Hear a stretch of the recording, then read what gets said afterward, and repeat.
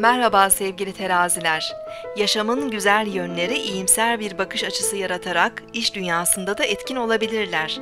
İyimserliğin dozunu da kaçırmayacak ve eskisine oranla daha büyük düşünebileceksiniz. Bu etkilerden yararlanmalısınız. Bugün 26 Nisan 2014 Cumartesi, Satürn günündeyiz.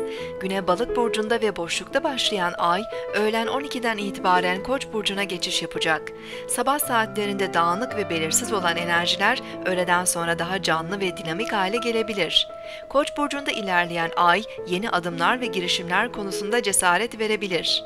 Bugün Boğa burcunda Güneş'le kavuşacak olan Merkür, akşam saatlerinde Neptün'le sekstil açı yapacak. Zihinsel faaliyetlerimiz ilham ve yaratıcılıkla zenginleşebilir. Sezgi